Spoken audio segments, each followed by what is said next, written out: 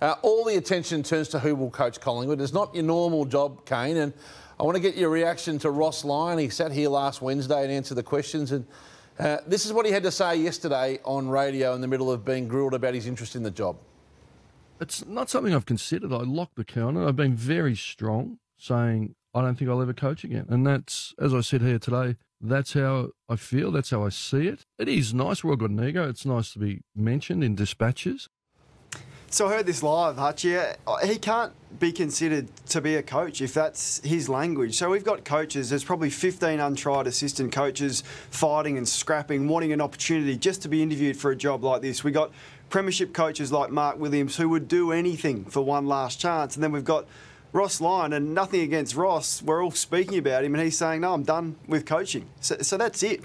If I'm Collingwood, I need more conviction from the coach that I'm hiring. It's about passion as much as it is about smarts and intelligence and running a footy program. You've got to want to do it. It's a massive job. And I'm not hearing anything from Ross that suggests he's the man. It's become a bit cool, though, to sit back on jobs and wait to be wooed, and that that seemed to be the language. He's not definitively saying he's out of it. He said last Wednesday here that he would sit down and talk to them. So he said he's done with coaching. Uh, that's enough for me. I'm as I no, sit right he didn't say I'm, it definitively, Kane. Well, I I the words that I heard were, "I'm done with coaching" as I sit here right now. Do you need to be belting the door down?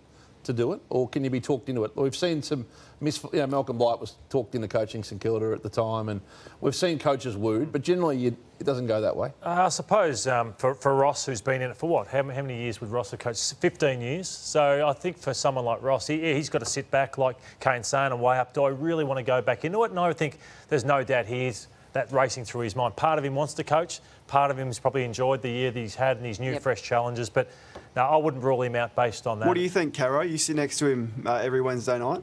I think the competitive juices still flow pretty pretty hard through Ross Lyon, and I think that um, I agree that it, it's not over the line. But I think once a club goes after you, and there might be two clubs going after him, perhaps. I mean, Carlton would be the sort of club where you would see Ross Lyon as a better fit. I'm, I'm just not ruling him out, and nor am I ruling out Alastair Clarkson for Carlton either. Just on that, Caro. So you, uh, Ross Lyon, sat here Wednesday night and said Collingwood, they're going to go. Alastair Clarkson's the man, and all yep. those sorts of things. And you spoke about him potentially not coaching, or have you your gut feel was it? Well, my, my, my feeling is that things aren't perfect at Hawthorn, yeah. and I'm not sure that he'll get a new contract. Look, they're saying he probably will, but until he does, I am going to say he is a candidate for a club like Carlton. I'm not saying he would walk out on a contract, but if Hawthorn don't want to go with him mm. at the end of next year, maybe he'll leave it. So you're saying though, do you expect him to coach Hawthorn next year though?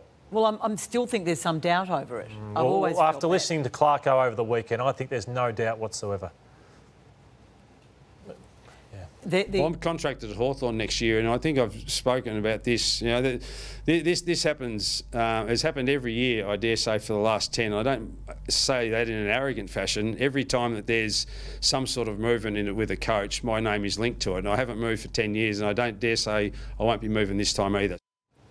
I still don't believe Alastair is definitely at Hawthorn next year. That, and I'm so saying that could be a Hawthorn decision saying. as well. No, I'm not doubting what he's saying, and I don't think it'll be Collingwood. I think if you were someone like Alastair Clarkson, you would think twice about a club like Collingwood when they're in the middle of a political turmoil. I really but do. Don't you see? He, he seems like he's all Hawthorn. It's all, unless unless they were to walk up to him and say, "Sorry, Alastair, your time's up." I just don't see well, how he goes. Why haven't they committed to him yet, then, Lordo? They're clearly yet to commit to him mm. as he is to them. We're at round 13, yeah. Matthew. Let's just see how but the rest of the year... he's a coach next year. He's committed for yes. next year, yeah? Well, yes, he is, but, but, I think he would want another contract at the end of yeah, this year. Yeah, but, but, but that's still that's still 20, what, 40 games away. There's no way he goes into next year uncontracted. It, he, he, either goes so, in extended. Hmm. So or, you think he'll he'll put that on them and at the end of this year and say, I know I've got 12 months to go, but unless you give me another extra one on top or two, I'll, I'll go and look elsewhere. History says when there's movement in the market, those with a year to go get flushed out either way, don't they? Chris Scott has also said again that he's at Geelong next year, and of course Adam Simpson, we found out the other day, actually extended his yeah. contract last year and they didn't tell anyone.